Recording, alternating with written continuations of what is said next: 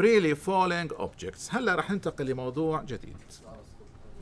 الأجسام الساقطة سقوطا حرا. أول شيء راح نبدأ فيه التعريف عشان نعرف شو يعني المقصود لما نحكي جسم ساقط سقوط حر. Definition.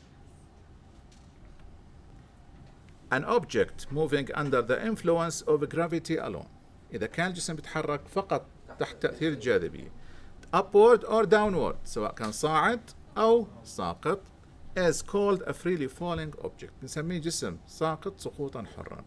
هلأ هون ممكن يضرب معك التعريف. طب ما هو طالع للأعلى ليش بدي أسميه ساقط سقوطا حرا؟ هلأ هذا التعريف إحنا التعريف إنه إذا كان فقط القوة اللي بتأثر عليه قوة الجاذبية راح أسميه ساقط سقوط حر سواء كان في حالة الصعود أو في حالة النزول. إذا هذا التعريف تبعنا. هلأ Galileo was the first to notice that if we ignore air resistance هلا إذا أهملنا مقاومة الهواء وكان جاليليو أول واحد بلاحظ هذا الشيء then all objects fall with the same constant acceleration كل الأجسام راح تسقط بتسارع ثابت نفس التسارع شو ترتب على هذا الكلام for example if we drop two objects with different masses لو جبنا جسمين وإلهم كتل مختلفة from the same height من نفس الارتفاع then the two objects reach the ground at the same time. الجسمين راح يوصلوا الأرض بنفس الوقت. طبعا إحنا بنحكي بإهمال مقاومة الهواء. الآن free fall acceleration نحكي إنهم بيتحركوا بتسارع ثابت. بس إيش هو هذا التسارع؟ طبعا قسناه إحنا بالنسبة للأرض. ووجدنا إنه في قيمة اللي هي 9.8 The magnitude of a free fall acceleration near the earth surface was found to be 9.8 meter per second squared هلا إحنا بما اننا بنحكي عن الحركه بالاتجاه العمودي شو راح نستخدم الرموز بالواي فاذا the magnitude of AY equals 9.8 meters per second squared هلا شو بنكمل على هذا الشيء الاتجاه وين the direction of a free fall acceleration is downward toward the ground. دائما اتجاهه إلى الأسفل. هيك صار مقداره 9.8 بالعشرة واتجاهه دائما إلى الأسفل. هلأ نرجع نذكركم بأنظمة الإحداثيات اللي عندنا. إحنا شو بنستخدم الواي أكسس؟ الموجب لوين؟ للأعلى والسالب للأسفل. فشو بنحكي هون؟ if we use the y-axis to describe the motion of a freely falling object with positive y-axis directed upward and the negative y-axis directed downward then the free fall acceleration can be written as بما انه اتجاهه الاسفل شو لازم اعطيه اشاره ايش؟ ماينس exactly فاذا لازم اعطيه اشاره سالب فلما اشيل الماجنتيود شو صارت AY minus 9.8 meters per second squared الإشارة السالبة من وين إجت؟ where the negative sign means that the direction is downward. من الاتجاه؟ كون الاتجاه إلى الأسفل. The symbol G. هلأ إحنا ما بنحب نضل نكتب 9.8 9.8 فبنختار رمز اللي هو الجي. نكتبه بدل التسعة وثمانية بالعشرة. We usually use the symbol G instead of AY to represent the acceleration of a freely falling object. إذا غالبا شو راح نستخدم الرمز G. هيك the magnitude of G شو صار مقدار الجي هاي اللي هو 9.8 meters per second squared. وبالتالي for simplicity we will stop writing the magnitude sign راح نبطل نكتب إشارة المقدار إنه مقدار جي بيساوي 9.8 بالعشرة بنصير نكتبها بس جي طبعا لازم تضل هاي ببالك كمان إنه ما تنساها. فصار إنه بكتب بهذا الشكل. جي بدل ما أكتب ال magnitude دائما بتساوي 9.8 meters per second squared. As a result AY اللي هو minus 9.8 meters per second squared بدل ال 9.8 شو بتصير نكتب؟ جي إذا أصبحت AY بيساوي minus G هذا التسارع للجسم الساقط سقوطا حرا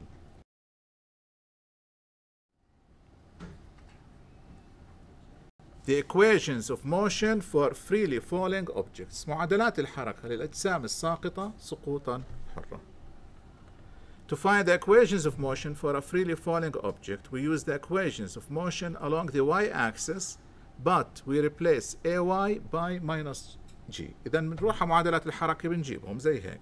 هذول هم. تذكروهم؟ نفس اللي استخدمناهم قبل شوي على ال x بس صارت الرموز بدلالة مين؟ دلالة ال y. هلأ وين في Ay شو راح اكتب مكانها؟ minus g. فبنطلع هاي المعادلة الأولى Vy final equals Vy initial plus Ay t شو بتصير؟ تصير Vy final equals Vy initial minus gt أروح على المعادلة الثانية. delta y equals Vy initial t بدل ما هي plus شو بتصير?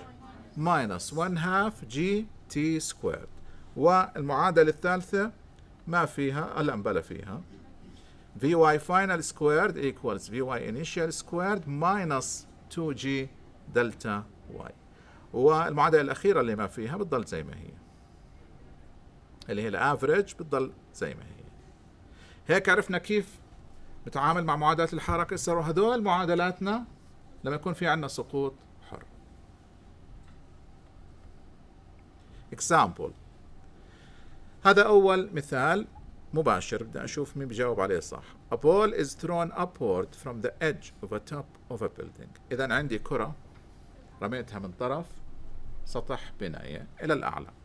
شو بحكي لي؟ Find the acceleration of the ball at the maximum height the ball can reach. شو بده يكون تسارع هاي الكرة عند أقصى ارتفاع بتوصله؟ مين بيحكي صفر؟ تسارع إحنا بنسأل. تسارع ثابت واتجاهه وين؟ Yes اذا solution الإجابة هلا هي صح thrown upward بس عند ال maximum height أنا ما سألتك عن السرعة. السرعة صفر. بس التسارع شو حكينا إحنا تسارع ثابت ودائما the acceleration of a freely falling object is constant everywhere and directed downward اذا شو بده يكون minus 9.8 meters per second squared exercise هلا هذا خلينا نحكي فيه if the velocity of an object is zero does it mean that the acceleration is zero شو رأيكم طبعا لا. ليش؟ لأنه عند أقصى ارتفاع السرعة صفر بس التسارع صفر؟ No. طيب فرع B. If the acceleration is zero does it mean that the velocity is zero?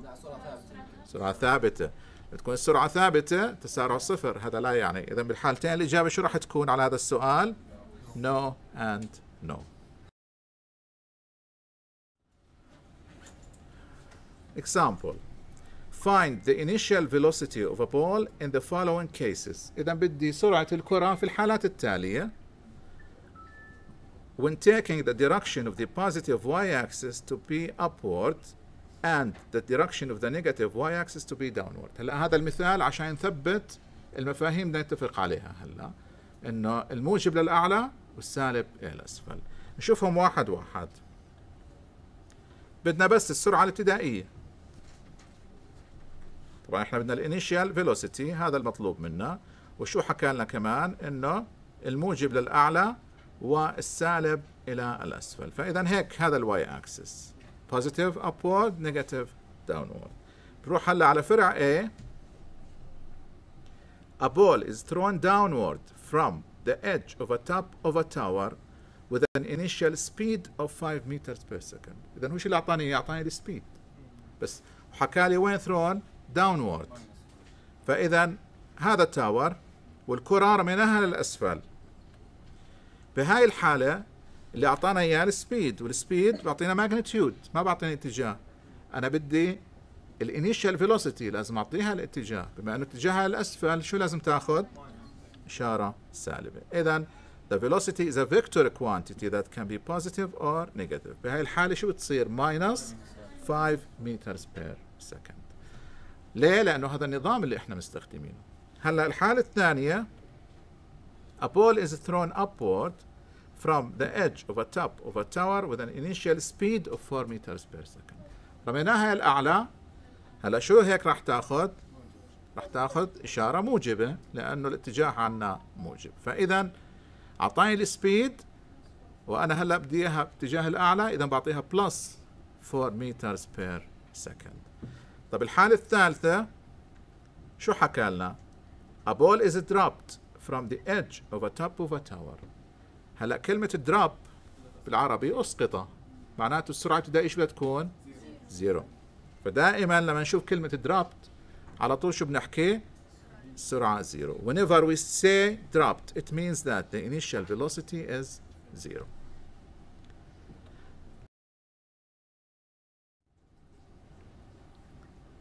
Example a ball is dropped from the edge of a top of a building إذا أسقطنا كرة من حافة سطح بناية How far will it have fallen after two seconds احكي لي how far شو حكينا شو المطلوب distance إذا هو بده المسافة اللي نزلتها بعد ثانيتين solution نرجع عليهم a ball is dropped إذا initial عفوا ال initial velocity شو مالها؟ zero هاي vy initial هلا شو طالب؟ how far طبعا from the edge of a top of a building و هلا حكي لنا how far بده المسافة اللي انقطعت بعد ثانيتين We are asked to calculate the distance traveled in two seconds. إذا بده المسافة اللي نزلتها، المسافة تطلع عليها بعد ثانيتين. مسافة كمية قياسية وهي دائما موجبة صح؟ إذا شو بنحكي إحنا؟ In this case the distance is given by هذا بيتحرك بدون ما يغير اتجاهه إذا المسافة المقطوعة عبارة عن the magnitude of delta y إحنا ممكن نحسب من هون نحسب delta y بعدين بناخذ لها القيمة المطلقة فإذا we first calculate delta y هذا جسم ساقط سقوط حر بجيب معادلات الحركة لمين؟ للسقوط الحر the equations of motion آه طلع فيهم are given by. هذول هم. في عنا vy initial بتساوي صفر وفي عنا الزمن والمطلوب نحسبه delta y. أي معادلة بستخدم؟ المعادلة الثانية. اذا على طول بعوض في المعادلة الثانية. We use the second equation هاي delta y. عوض في الأرقام substitute the numbers. شو راح يطلع عنا هلا؟ delta y طلعت سالبة. بس إحنا شو مطلوب نحسبه؟ Distance. شو بنعمل؟ ناخذ الماجنتيود وبالتالي d equals 19.6 meters. Example. A ball is thrown downward. هلا شو بيختلف هذا عن اللي قبله؟ إنه الآن downward رميناها from the edge of a top of a building من حافة سطح بناية with an initial speed of 3 meters per second. وأعطانا السرعة القياسية الابتدائية. What would its speed be after 2 seconds? إذا هو سألني عن السرعة بعد ثانيتين. إذا هذا كمان تطبيق مباشر. خلينا نشوف. A ball is thrown downward from the edge of a top of a building. بهذا الشكل. أعطانا السبيد. إذا شو راح تكون عندنا السرعة. مع الاتجاه إلى الأسفل. شو بدنا نعطيها؟ إشارة سالبة. إذا Vy initial minus 3 meters per second. والمطلوب what would its speed be after 2 seconds? بس. عندنا الزمن 2 seconds. هلا شو بدنا نعمل؟ ننتبه إنه طلب السبيد the speed is a positive scalar quantity. بهاي الحالة شو بدها تكون مساوية؟ magnitude ل Vy final. إحنا بإمكاننا نحسب مين في البداية؟ Vy final. معادلات الحركة. تطلع مين فيهم؟ فيها vy initial وفيها الزمن. بقدر أحسب منها vy final المعادلة الأولى مباشرة. هيك بعوض في الأرقام. وانتبه إنك تعوض ال minus زي ما هي. minus 3 minus 9.8 times 2 والإجابة هي minus 22.6 إحنا بدنا ال speed. شو بتطلع؟ 22.6 متر per second the velocity at the maximum height. هلأ إحنا حكينا إنه السرعة عند أقصى ارتفاع بتكون مساوية للصفر هلأ بنطلع عليها بنظرة معمقة أكثر شوي لأنه بدي أستخدم هاي المعلومة لحساب ال maximum height نشوف شو يعني. Consider a ball thrown upward from the edge of a top of a table. ياخذ كرة وارميها الاعلى من سطح طاوله هلأ شو اللي راح يصير؟ إحنا اوريدي بنعرف شو اللي راح يصير. As the ball rises, its speed decreases until it reaches the highest point. إذا وهي صاعد الكرة تبدأ السرعة تقل لحد ما توصل لأقصى ارتفاع. عند أقصى ارتفاع شو بصير لها؟ توقف لحظيا ترجع إلى الأرض. إذا شو بدنا نكمل هون؟ Where its speed is zero for an instant then it falls back to the ground. إذا هذا اللي راح يصير بهاي الحالة. توصل لل maximum height and then it falls back to the ground. هلا أقصى ارتفاع راح نسميه y max اختصارا راح نسميه y max. ونتذكر إنه Vy final at y max equals zero هذول المعلومتين موجودين عندنا. هلا بدنا نستخدمهم بحساب ال maximum height calculating the maximum height. To find the maximum height we first choose the origin at the point of a projection. هلا دائما لما بدك تحسب أشياء متعلقة بالفيزياء بدك origin معظم الأحيان. لما تختارها عند ال point of projection أو ال initial position of the particle هذا يعتبر أسهل الخيارات. هلا طبعا في وين ما اخترته صحيح. فإذا بتحب أي خيار ثاني فيك تكمل عليه. إحنا راح نختاره وين؟ at the point of projection. اذا هذا ال origin تبعنا. وبالتالي ال initial position شو صار؟ y initial zero. وبدي ال maximum height فبختار ال final position وين؟ عند ال maximum height فبتكون مساوي ل y max اذا y final equals y max هيك صار عندنا delta y شو بيساوي؟ y final minus y initial و is equal to y max minus 0 اذا delta y equals y max هاي المعلومة موجودة عندنا وشو كمان حكينا؟ Vy final شو بتساوي؟ zero. هذول هم اثنين اللي بدنا إياهم. في عنا ال equations of motion هلا بنطلع delta y equals y max Vy final equals zero فإذا نطلع على المعادلات. أي معادلة ممكن نستخدمها عشان نوجد ال y max المعادلة الثالثة. نعم لأنه Vy final zero وبعوض مكان delta y ب y max هيك صار عنا بالشكل التالي 0 equal 0 equals Vy initial squared minus 2g y max. As a result, y max equals Vy initial squared over 2g. هذا اللي حسبناه إحنا هلا ال maximum height with respect to whom؟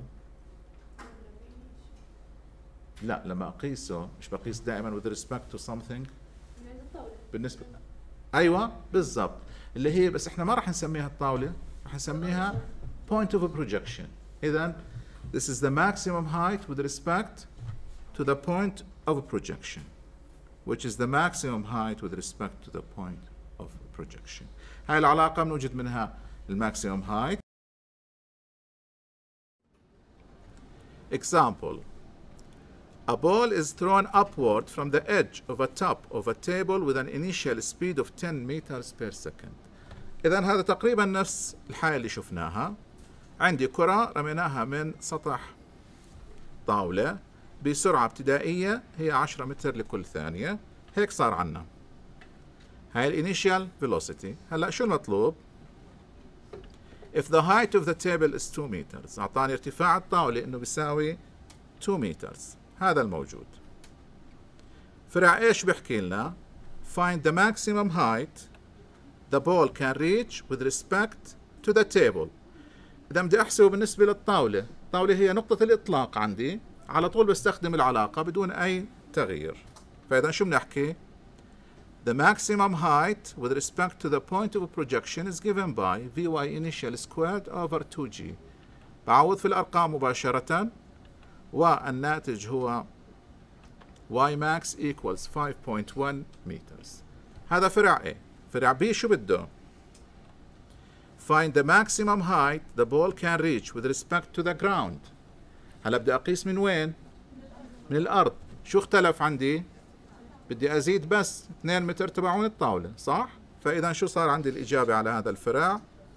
بس بنزيد 5.2 plus 2 والإجابة هي 7.1 meters إذا هذا تطبيق مباشر على ال maximum height هلأ نأخذ هذا ال exercise نشوف كيف راح تفكروا فيه.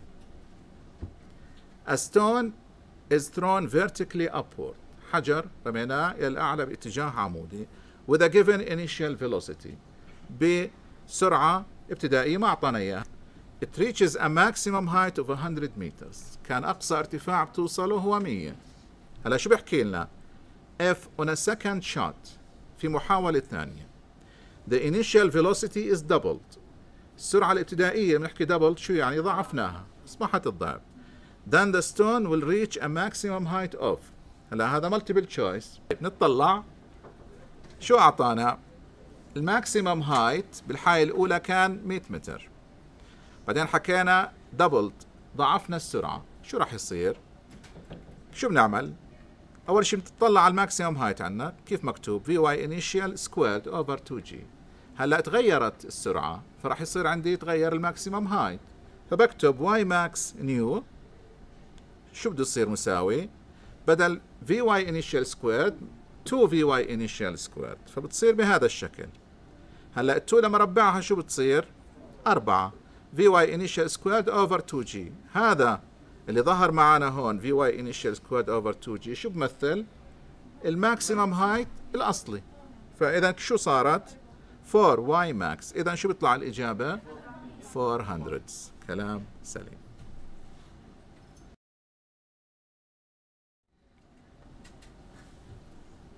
Calculating the time required to reach the maximum height. هلا بدنا الزمن. اللازم حتى نوصل لأقصى ارتفاع راح نعيد الأشياء اللي حكيناها بس طبعا ما رح نرجع نعيدها كلها شو بنحكي consider a ball thrown upward from the edge of a top of a table بنفس الأسلوب نختار الأوريجين عند نقطة الإطلاق y initial 0 y final هي y max وشو بنحكي هون to find the time required to reach the maximum height we use the fact that the velocity at the maximum height is zero إذا Vy final equals zero هيك على طول شو بنعمل؟ بنختار معادلة الحركة المناسبة. هاي معادلات الحركة. عندي Vy final equals zero. وبدي أوجد مين؟ بدي أوجد الزمن. وعندي delta y شو بتساوي؟ y max من هون Vy final equals Vy initial minus g times t. خلينا نعوض. مكان Vy final 0 شو بيطلع عنا؟ 0 equals واي initial minus تي رتب المعادلة t equals y initial over g. إذا هذا هو الزمن اللازم للوصول إلى أقصى ارتفاع. شو ممكن نكتبه؟ عشان نتذكره. t maximum height واي initial over g. بس.